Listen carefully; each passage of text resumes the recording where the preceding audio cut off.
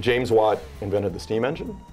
Um, and, and that's where the steam turbine comes from. You run steam through it and it, it makes power. Okay. Um, Archimedes, the perhaps apocryphal story is he had the Greek warriors hold up their brass shields on a hill, hillside, each of them focusing the reflection on an enemy ship, which concentrated the sun's energy on the ship. It burst into flames.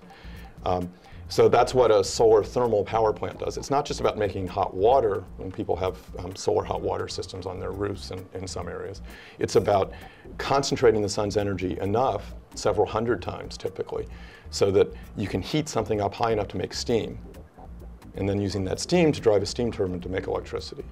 And one of the best kept secrets in the, the renewable energy business, and something I didn't even know about until a few years ago, for the last 17, 18 years, we've had 350 megawatts of solar thermal power plants running, happily, reliably running in the Mojave Desert in Southern California.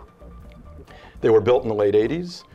Um, the company that built them then went bankrupt when the price of natural gas plummeted and federal uh, subsidies went away. And that field went dormant for 15 years. It started to come back over the last few years, but what isn't happening yet is very much in the way of what I would call real research on how could we build those kinds of systems, but do it much more cheaply. And as I said, it's not necessarily about exotic materials um, like you might want for a more efficient solar panel.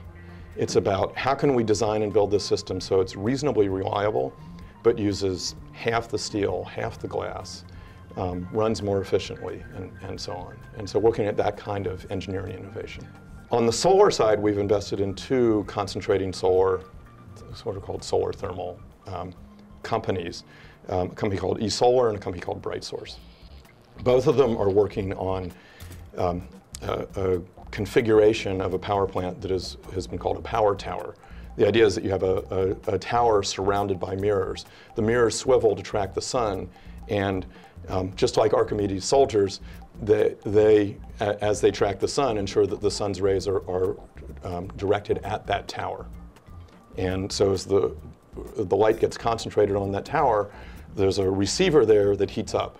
And then you can use that to make steam and drive a steam turbine, or possibly in some other way, maybe you don't use steam, use some other um, fluid to drive a turbine to make, make electricity.